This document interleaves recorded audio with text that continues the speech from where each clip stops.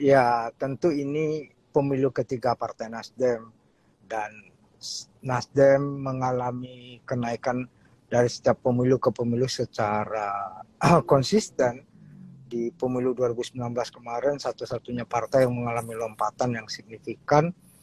2009 kami 2009 kami 2014 kami dapat kursi 36 kursi di DPR RI, 2019 kami dapat kursi 59. Nah, tentu berkat uh, proses politik yang dilakukan secara scientific approach oleh Partai Nasdem menggunakan praktik politik yang baik, menggunakan uh, politik tanpa mahar, uh, talent scouting, menggunakan piranti-piranti yang uh, modern.